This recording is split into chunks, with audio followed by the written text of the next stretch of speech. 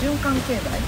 循環経済、循環経済にのっとったものをやった方がいいってことそう思います、うん。まずは周りをご機嫌にする前に自分をご機嫌にしていこうみたいななんかできてることに目を向けない？できてることに目を向できけない。ないことばっかりに目を向けい。やこんな自分は素敵だったなみたいな。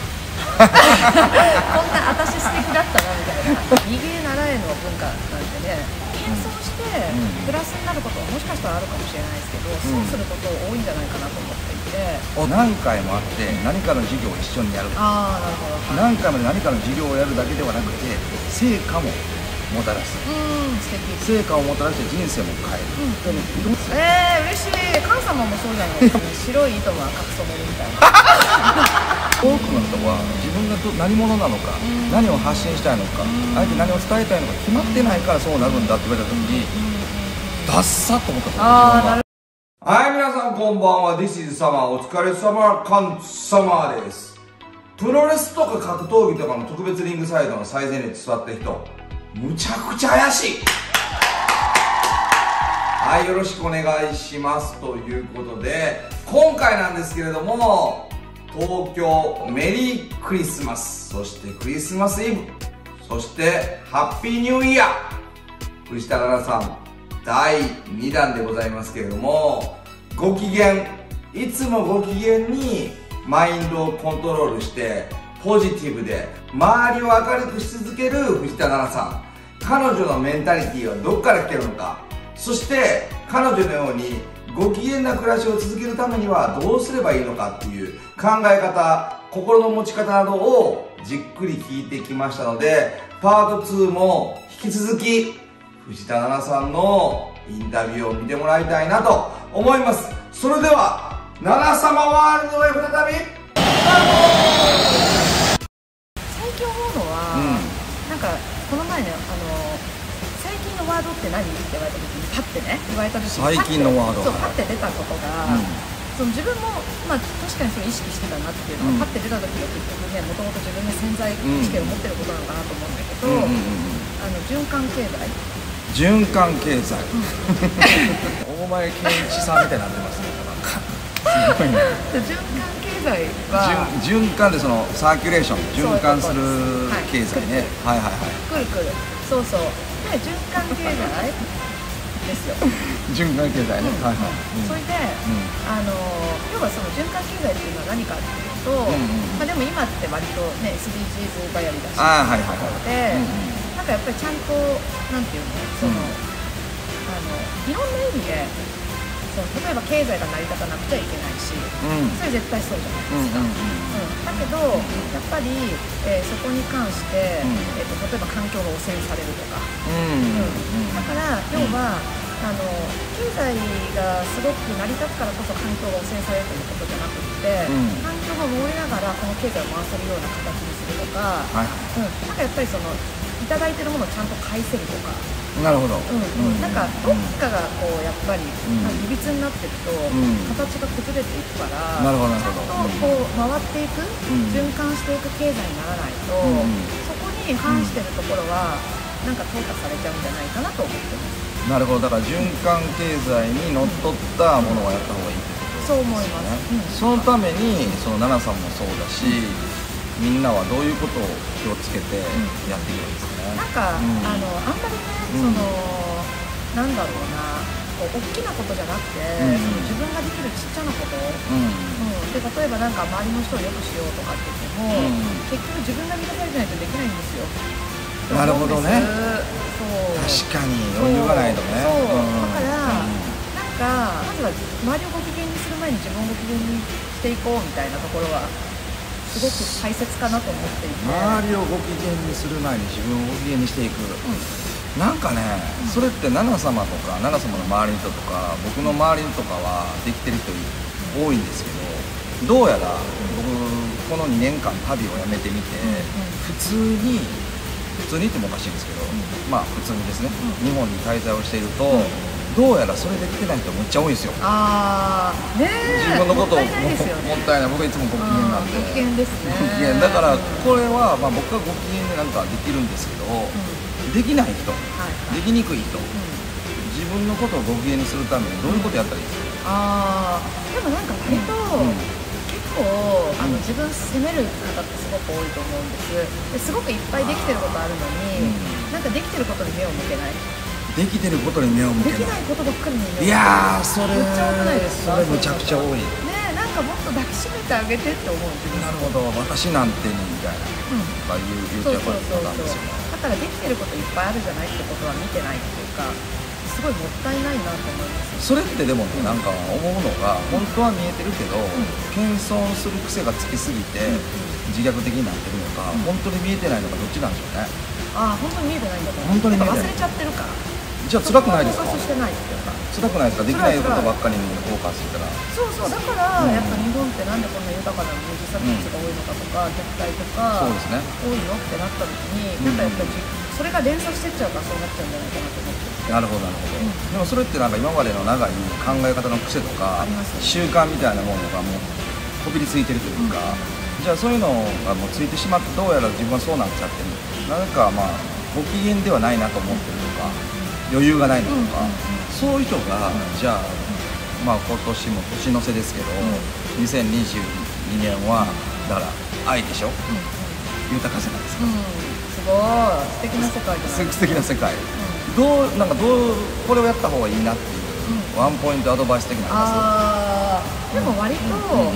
なんか結構ポイントってうんうん朝と夜だと思っていて、ります朝と夜。はいはいははい。い、うん、朝と夜だと思っていて、うんうんで割とですね、うん。なんか夜うん。寝る時って、うん。あのすごい大切にしてるんです。寝る前とかね。寝る前とかですか？そう寝る前、うんそう寝る前に、うんあの今日こんな自分は素敵だったなみたいな。こんな私素敵だったなみたいな。3つあ三つね。3つ。あ自分に褒めてあげるそうそう。これ良かったと。やるじゃん私みたいな、うんうんうん。ですね。それやっていただくといいと思うんですよ。ねあそれは多分ね結構やってないと思いますね。やってないですよね。ほとんどやらないんじゃないですか。だってなんか無理くりしないと見つけないじゃないですか、うんうんうんうん。そうそうそう、うんうんだからそれをやる、ああなるほどね。三つそれ夜寝る寝る前でしょ寝る前。朝は？朝はうん。朝起きた時は自分のテーマ、こういうふうに生きるとか自分こんな一日みたいな。結構朝朝クルドとか作ってますあクレードってあのししし新庄ってそうそうそうそう企業理念みたいな。そうそうそうそう。あそうこれね。こういう人であるみたいな。これね。なんか言ったら僕たちは、まあ、外資系の仕事やってきたりするじゃないですか、はい。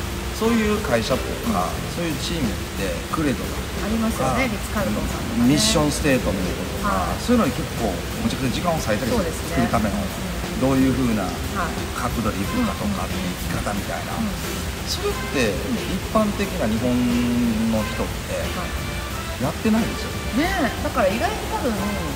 慣れてないっていうのもあると思うんですよね、あそれむっちゃあると思う、うん。なんかこれ一個いいですか、あの僕もそのいろいろ勉強してる時にいろんな勉強会とかセミナーとかに参加したんですよ、その時にあるセミナーでこれぐらい分厚いその資料をもらって今日のセミナーとレジュメみたいなのが全部書いてあるんですよ、はいはいそこなんでこんな分厚いのかなってなったらメモったりするところがいっぱい余白があるんですよ、で Q&A だとかペアワークみたいなのがあって、えこういうことができるとしたらあなたは何がしたいですかとか、えーなりたい自分ってどんな人ですかみたいなワークをして書き込むのがいっぱいあったんですよ、それで参加させてもらったんですけど、ほとんどの方が序盤からペンが動かない。ああわかります？経験者わかります？確かに。書きまくるタイプでしょほんでこういうタイプの人があのね20名に1人ぐらいいる ほんでその人とか横になったのを僕客観的に聞いて見てると横になった女の子はなんかそういうセミナーに慣れてなくて「うんどうしよううん」って感じで「どうしました?」みたいな。うん停止ボタン押し押しましたか確からに。ポーズ。はいはい。でその横でナラスマンみたいな方がもういたら机があったらもうコツコツ音が響くんですよそんな感じで。ああなるほど。これぞとばかりそうそうそうもう何かが降りてきて憑依して書いてるんちゃうかなっていうぐらいこっち側はこれぐらいの余白があってほとんど埋まっていない、ええ楽しい一年にししします。こっちはもうなんかはみはみ出るぐらいの勢いで書いてるってあると思うんですけど、あれって何のち慣れてない人はあるの？何の違いだとでもいつも思ってるとこ描いてるってことだと思うんですよね。なるほど。だからなんか多分そういう質問ってあんまりないじゃないですか世の中。ないですね、うん。だからなんかどうなりたいとかっていうことよりも、なんかどんどんどんどんポジティブっていうか、うんそう。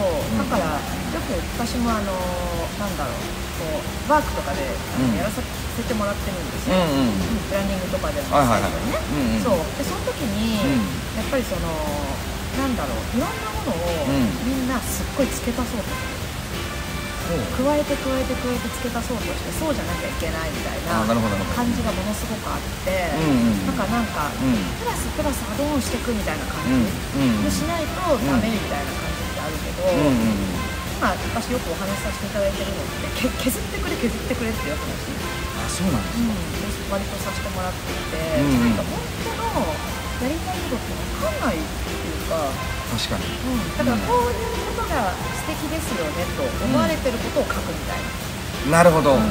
そうそうまあ、そのその時点でもう周りの目をうんうんうんうん。気にしすぎてるっていう、あそうなんですね、でもなんかねそういう自分らしく生きたいだとかこれを頑張りたいとかっていうのはあると思うんですけどやっぱりいろんな人と喋ってていまだに思うのが周りの人とか友達とか、今までの知り合いとかに変に思われたらどうしようっていう世間体とかそれをむちゃくちゃ気にしてる人が多いように思うんですけど、それについてどう思われるのかっていうのとどうしたらいったらいいと思うかあります？あります。あどうぞ。もうそれいいですねすぐありますって言ってますから。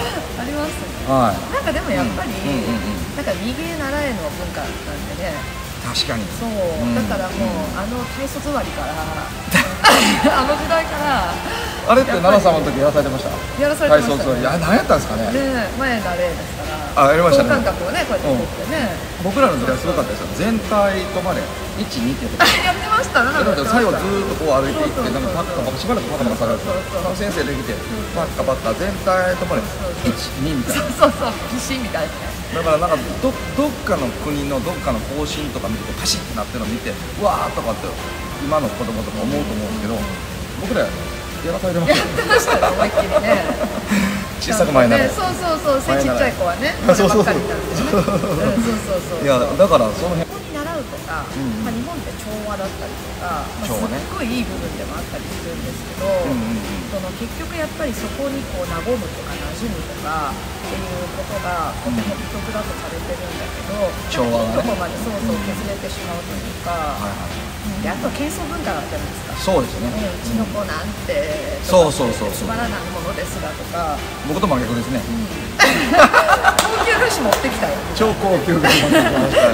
でさっきいただいてね。そこのまんじゅう1個100ユーロですよ。そうそうそうそうそう。100円じゃなくて100ユーロ。みたいなそうそうそう100ユーロですうん。ああなるほどね。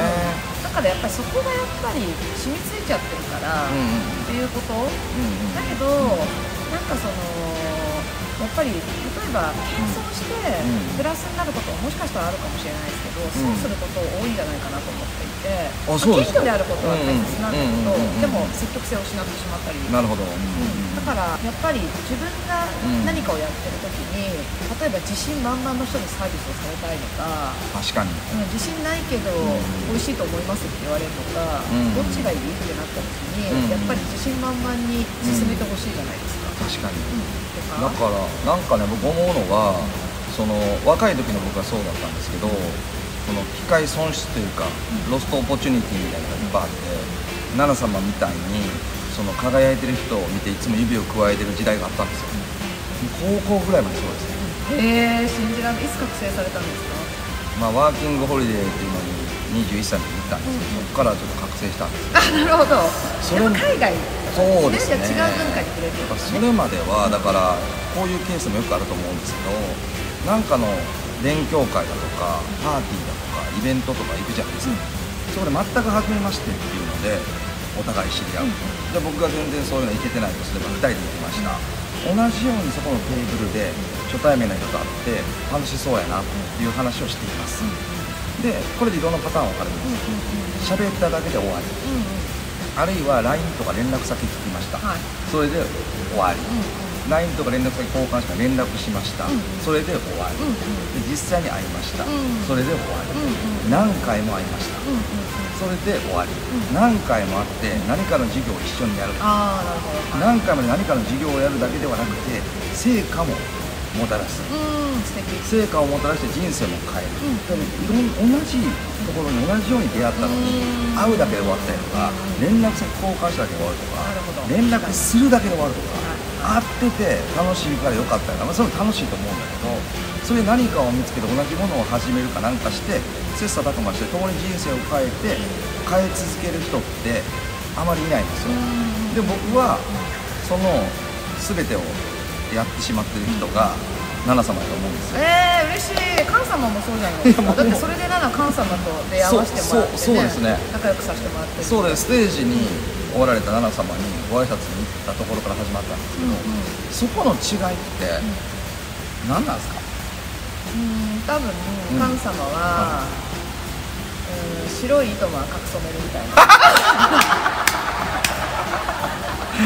これですよ皆さんこれですよこのパワーフレーズ。白い糸も赤く染めるむちゃくちゃいいな。いやーだから僕そういうの本当にいろんなところで見ててなんか昔はあ羨ましいなと思って見てたんですよ。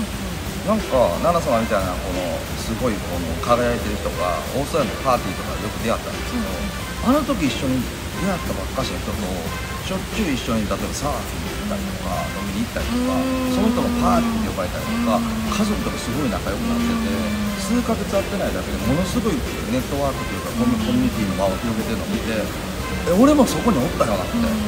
何をしてんのって。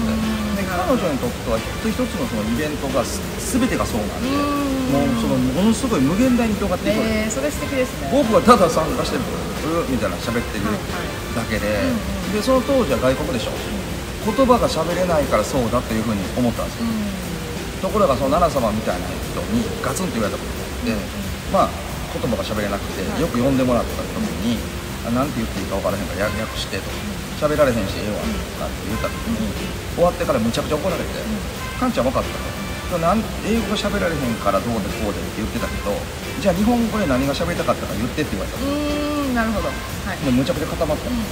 喋られへんのちゃうん。喋ることがないんやろ。もっと自分の考えと意見を持っとけば下手くそでも喋りたいことがあったらグロー君でもいけると。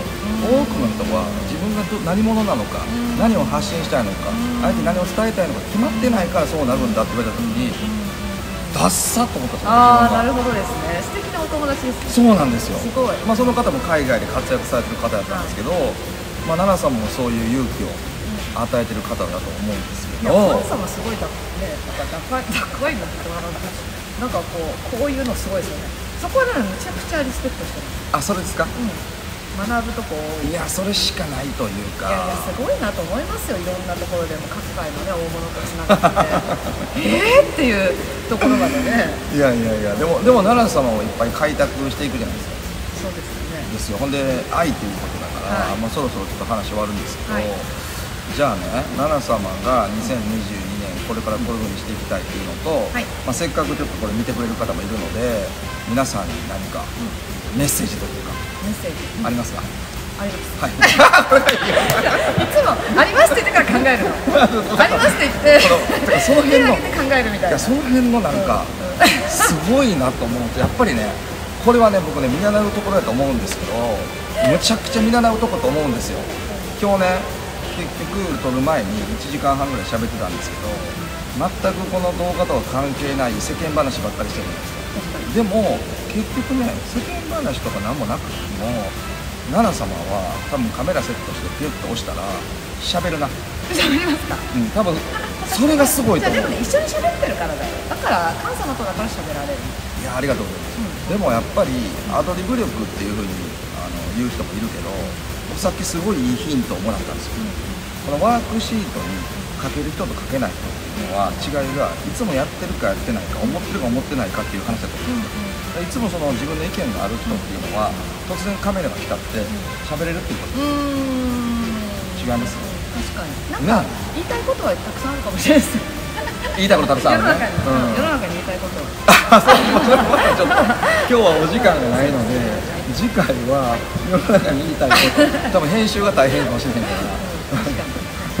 デリートされちゃうかも。デリートされちゃう。じゃあもうね奈々様もお時間が次あるということなんで今日はあれでしょ？あの移動されるんでしょ？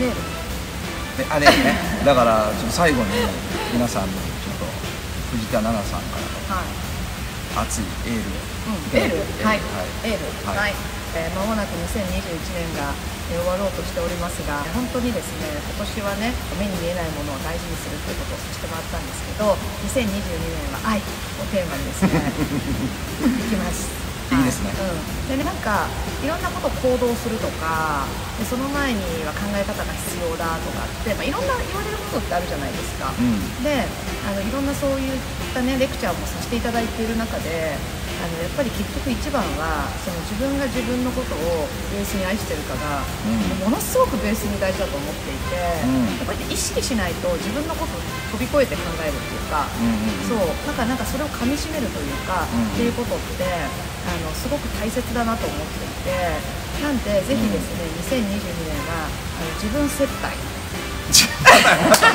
まだええまだ出して出してくるなパワーワード自分接待ね。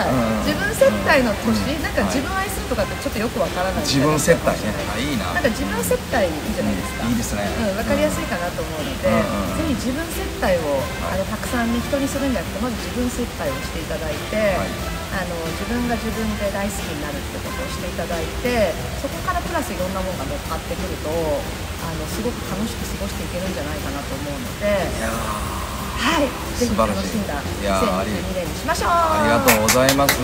イエーイ。今日はまたね藤田奈々さん来ていただきました、はい。あの高評価とチャンネル登録とコメントの方もお願いします。お願いします。で藤田奈々さんのインスタいつも素晴らしい投稿があるので見ていただいたらいいかなと思います。じゃあそれではまた神様と会う日まで。アディオスありがとうございました